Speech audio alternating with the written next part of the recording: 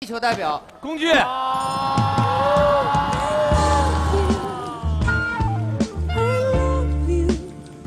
我离雪芙最近，我看到他，他一直在抖，因为太冷了。谢谢谢谢峰哥，谢谢工具人。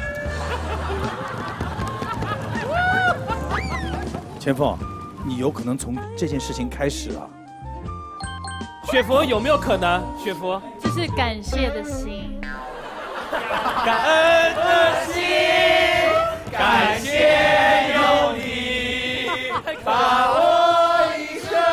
好了好了好了好了，没有没有，出于一个哥哥的本能吧，应该是。啊，那好像我们就不是哥哥一。真的是。哇哦！哎，马甲就算了吧，马甲没有什么用。等下等下等下，弟弟这边也有，弟弟这边也有，好不好？哇，好暖啊！你还冷吗？还冷，我们还有。没关系，非常感谢大家的爱。有人管梦辰，梦辰也冷，就脚。哎呀哎呀，梦辰也冷，梦辰也冷。梦辰，梦辰冷了，梦辰。你们不要再弄梦辰了，海涛来了。哎，我们刚才是在聊聊什么？颜值，颜值。哎，对，局长，所以我说呀，我觉得今天在场的所有的地球代表都不可能和我成为纯洁的友谊，因为他们颜值都太高了。是的。小文，小文，咱们换一个方向来考虑啊！你就比如说有个女的长成我这样了，那她还是女的吗？肯定是一辈子的好兄弟啊！等一下，等一下，这样，小军有话要讲。小军，你冷对不对？哦，没有没有没有，等一下，等一下，谢谢谢谢。听到雪福副局长说的，就是如果已经有男朋友或是谁已经有女朋友，如何去跟异性有一个比较好的距离？就是其实男生跟女生的想法构造是比较不一样的。其实男生是很容易透过一些肢体的碰触会产生对异性有一些遐想，然后女生是很容易因为一些行为或言语对异性产生一些遐想。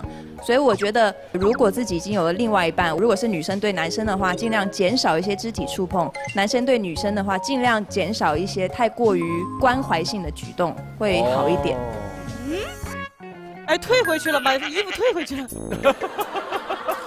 是聊到这一点，雪芙，你要把衣服还给我吗？为什么雪芙会在这个时候拒绝？为什么？因为雪芙说，女孩子如果在恋爱的时候，要注意少跟其他的男孩子有一些过分的接触。综上所述，雪芙恋爱了，对象不是你，你只是一个工具人。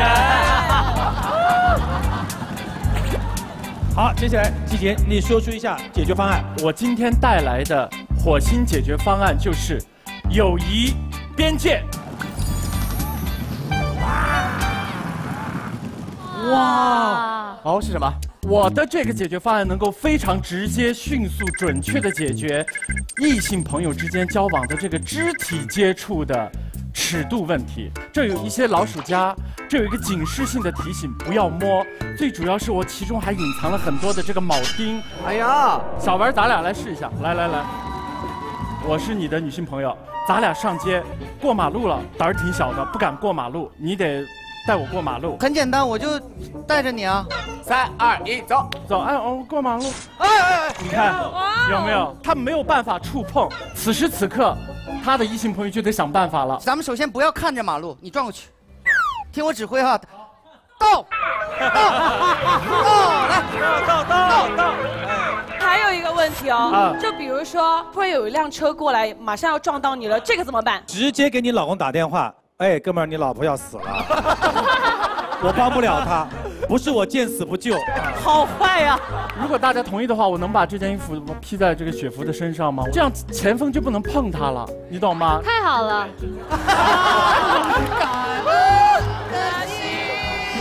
感谢有你。待会儿录影过程中，如果听到尖叫声，就是峰哥偷偷又动手了。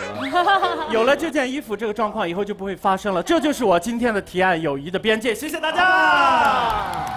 刚才大家也提到了很多很多的这种观点啊，我们觉得其实异性之间的这种交往，每个人的尺度是不一样的，所以一定要把握的非常好。当然，这个把握的前提是你要了解男生是通过什么容易产生一些哎小小的想法，女生容易通过什么容易产生一些小小的想法，我们尽量的去回避一些，避免一些尴尬。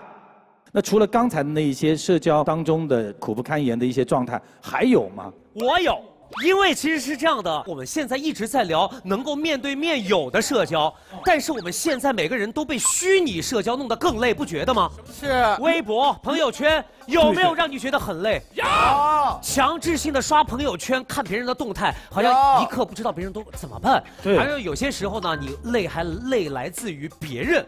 会怎么看你？像我非常在意别人的看法，说，哎，我这个点赞了，那个没点，哎，他是不是对我有想法？彼此共同的朋友。哇，你好累哦。所以呢，我是觉得，就有些时候是自己把自己弄累了，虚拟网络让自己那么累。那你们会不会也有这种？我有，因为我那个时候就是没有现在这么红嘛，微博底下的评论数量很少，然后人家告诉你，你给他回复。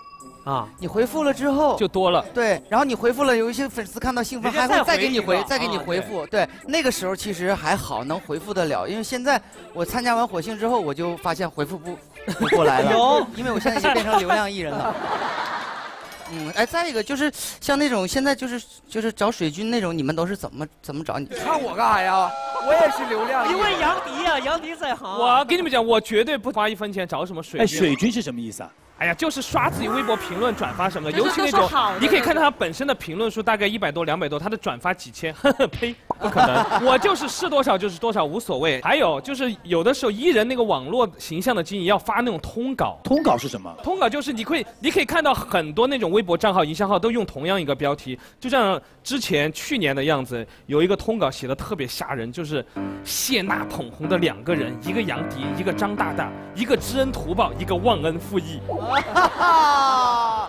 我是知恩图报的那个啊，没没有了。然后呢，噼里啪啦，噼里啪啦，就是很多很多。我截图，截图，截图，截图，全部截发给张大大。我说大大，这些不是我搞的啊，我也不知道，反正就是。他说没关系，我已经习惯了。张大大就这样回给我，这就是挑明说的好。我就挑明了说，我就比较好一点，要不然就是心结，免得有隔阂。你现在跟大大有隔阂吗？也没什么隔阂，因为沟沟通也不是特别多。其实平时，那其中还有一条通稿写的更过分。这两个人，一个丑在脸上，一个丑在心里。哦。然后我还把这条我说大大，如果是我自己写的，我不可能写自己丑在脸上吧。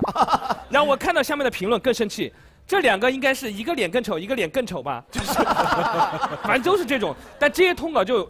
玩那种标题党莫名其妙的，真的和我没关系，我真的没不会花这个钱。对，因为杨迪是挺舍不得的 啊。对我问过价，问过价不行，真受不了。还问过价？没有，绝对没问过。所以有些时候我们说经营个人的这种社交网络好辛苦，有些时候就是太累了。我这边要给到大家的火星的解决方案就是社交网络四点零。